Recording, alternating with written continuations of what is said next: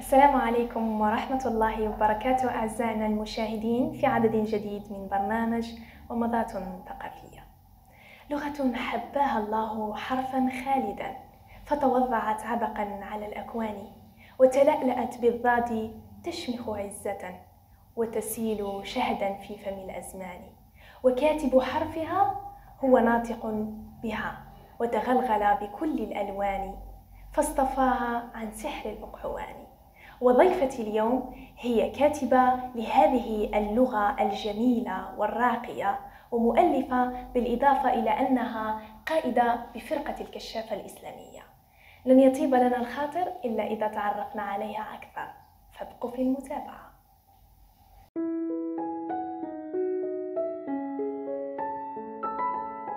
أهلا بك سيدتي حللتي أهلا ووطأتي سهلا. نرحب بك هنا بمقر وي بي سي شكرا حبيبتي ربناق العفو. أشكر أشكركم على الاستضافة الجميلة. هذا شرف لي آه، أن أن تكوني هنا معنا. ونحن آه، آه، سعيدين بما بما آه، بما أنك هنا معنا متواجدة معنا. فجمعنا اليوم نود أن نتعرف عليك أكثر بما أنك فنانة كاتبة. فيا ترى كيف كانت بدايتك وكيف بدأت هذا المجال الأدبي؟ أولا آه، لويز عوان من مواليد من مواليد آه، 1973 بولاية باتنة آه، ولدت وترعرعت في في عائلة ثقافية فنية حياتي مع الكتابة كانت آه، لا أقول من الصغر بل آه، آه، كانت تنمو مع الكبار. جميل كانت تنمو مع الكبار طيب آه. درستي أنت الأدب أو لا درست البيوكيميا التطبيقية. يعني كنت علمية. نعم لا- نعم كنت علمية. مهم. درست البيوكيميا التطبيقية لكن شغفي للكتابة كان أقوى من ميول ال- العلمي. العلمي نعم. جميل. نعم. فكنت يعني أقرأ للكثير من من الكتاب وحقيقة يعني أعشق نزار قباني لأنه شاعر المرأة. وميولي دائما للشعر الرومانسي و- وأكتب القصة القصيرة الاجتماعية. ال- يعني تكتبين للمجتمع وليس لذاتك في بعض الأحيان لا أكتب لل- للمجتمع فقط يعني. آه، للمجتمع. القصة- نعم. آه، القصة التي لها هدف آه، اجتماعي تربوي. آه، تكتبينها للمجتمع. نعم. صحيح وهو كذلك سيدتي. طيب آه، من اكتشف هذه الموهبة الخاصة بك؟ يعني هل اكتشفتيها أنت أو شخص ما؟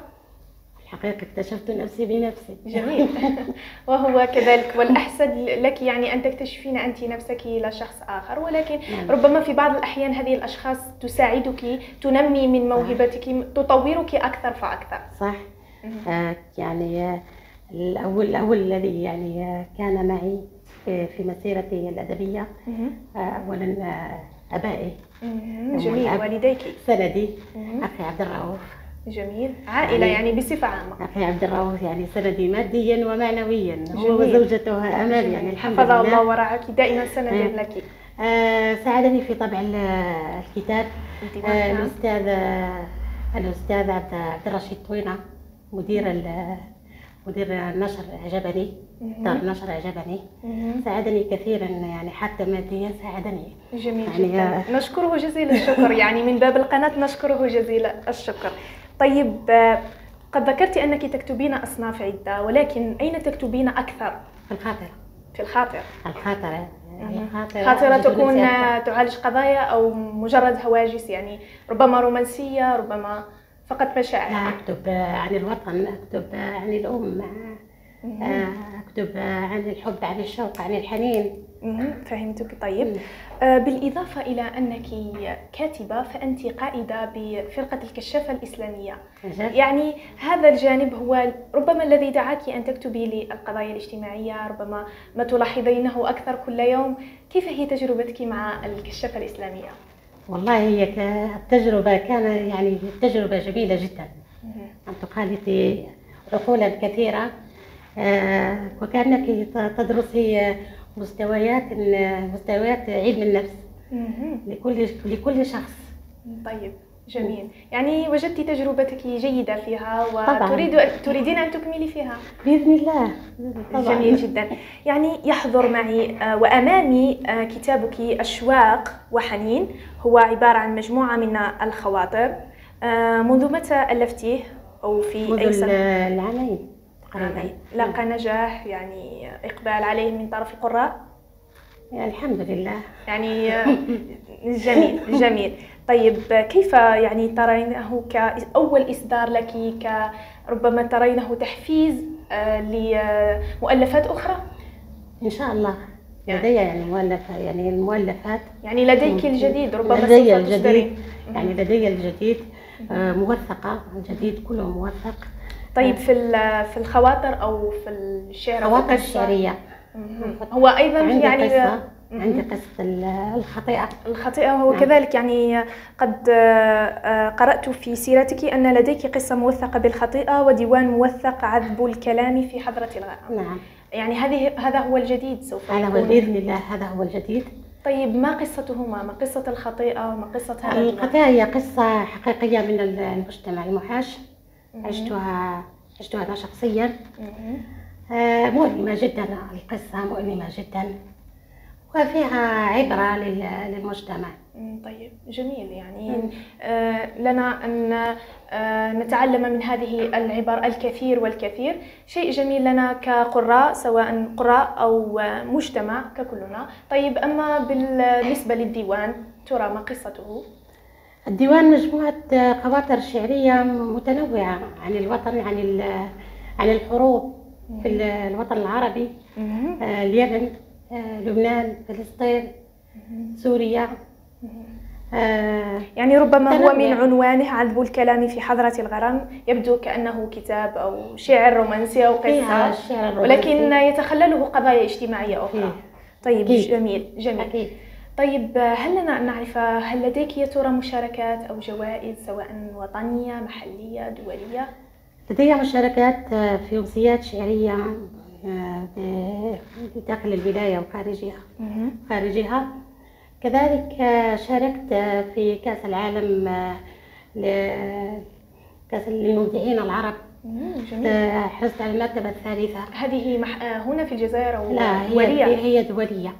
آه، حفل الاختتام كان في لندن. كان في آه، بريطانيا. جميل. ها؟ شاركتي يعني في حفل الاختتام؟ لا لم أحضر للظروف المادية. طيب أي دولة يعني قامت بهذه المبادرة؟ مصر. مصر. مصر. نعم. يعني أم العرب. مصر مصر أم العرب. جميل جدا. يعني. هذه الالتفاتة عجبتني كثيرا. راقت لي. نعم طيب. شهادات. شهادات. شهادات إلكترونية. منها نوبل السلام. إلكترونية. نوبل للسلام نعم. سفيرة السلام المحبة والسلام. جميل. رائع. كذلك موفقة دائما وأبدا. طيب أي مشاركات أخرى أو ربما آه، بقيت آه، شاركت في معرض خمسة. ال- معرض المكتبة الرئيسية. حلوة حلوة واحد. شاركتي في المعارض الوطنية أو الدولية؟ ليس بعد. ليس بعد. ربما الد- الدواوين القادمة. بإذن الله. إن شاء الله. ولما لا سيدتي الكريمة. طيب لنتحدث قليلا عن الفن. ما رأيك في الفن اليوم؟ هل أعجبك؟ هل فيه ربما ثغرات؟ ربما مطبات؟ يعني خاصة يعني هنا الحديث عن الأدب ليس يعني يمكنك فقط يعني مثل ما. ترين بما أنك كاتبة يمكنك التحدث فقط عن الأدب يعني ال- الفن هو في تطور. بالنسبة للكتابة آه، هو يعني في تطور مع الجيل هذا الجيل هذا الصاعد. هل تشجعين يا ترى ال- الكتاب الناشئين؟ بالتأكيد أشجع. مهم. جميل. بالتأكيد هم حاملي الرسالة. صحيح هم صحيح. حاملي الرسالة من بعدنا ويجب أن لا يجب أن لا نقف في وجه المبدع. أكيد. أي أي كتابة بالنسبة لي. أي كتابة أي جملة يكتبها. يكتبها المبدع فأنا عندي إبداع. إبداع. صحيح. إبداع جميل. يعني آه نتمنى أن يكون كل الناس مثلك يشجع يشجعون الناس ولا يحطموهم ويجعلوهم عراقيل في آه في طريقهم أو في آه مشوارهم. طيب آه يقول لي مثل لك يقول الشرقاوي بعض المعارك لنفوز بها يجب ألا نخوضها منذ البداية. طيب طيب آه، هل تواجهين عراقيل أو مشاكل يعني في هذا المجال؟ في وخاصة بما أنك امرأة ونعلم كلنا أن المرأة هناك مجالات تعاني فيها خاصة بما أنك كاتبة أيضا. بما أني ربة بيت أولا. وجدها. جميل. يعني آه، أجد عراقيل جمع. حتى يعني سواء من المجتمع أو في من المجتمع ومن جانب يعني الأدب. إيه أجد يعني عراقيل. لكن آه، عندي يعني شخص بشخصيتي وقوتي وحبي لي. نتحدى يعني إيه. كل الأزمات نحن نتحدى العراقيل. نعم. نحن نتحدى نحن لا نقف عند أول حاجز. صحيح. نحاول أن نتعدى. آه، كما يقال نحن نميل ولا نسقط. صحيح صحيح. وهو كذلك سيدتي. أتمنى لك التوفيق. ولكن قد يحلو الجمع والكلام بقراءة منك في بعض أبياتك وفي بعض خواطرك أنين الجوف. كزورق يلاطم أمواج البحار. كغريق أنا يحملني اليم. لعمق البحار وبين الظلام. صراخي يعلو فوق السحاب. ورعد وبرق دوي القلوب. كحر الصحار وبرد القمم.